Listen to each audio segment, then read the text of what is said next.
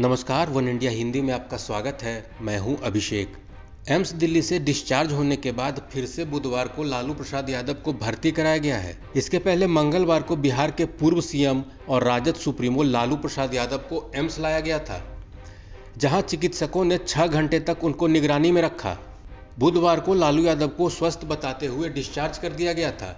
इसके बाद उन्हें रांची रिम्स ले जाने के लिए दिल्ली एयरपोर्ट लाया गया। जहाँ लालू यादव की तबीयत फिर से बिगड़ गई, उन्हें दोबारा एम्स लाकर इमरजेंसी वार्ड में भर्ती कराया गया। इसके पहले रांची रिम्स के मेडिकल बोर्ड ने मंगलवार को लालू प्रसाद यादव को दिल्ली भेजने पर फैसला लिया था।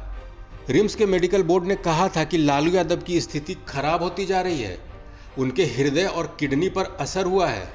इसको देखते हुए लालू यादव को बेहतर इलाज के लिए एम्स दिल्ली भेजा जा रहा है।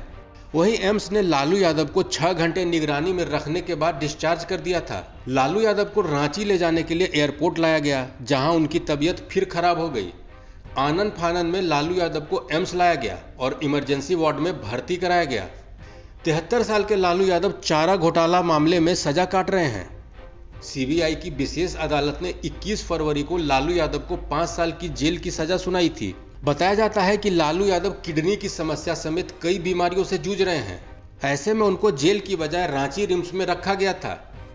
लालू यादव की किडनी करीब 20 फ़ीसदी ही काम कर रही है। इस अपडेट में इतना ही। दूसरी खबरों के लिए बने रहिए हमारे साथ।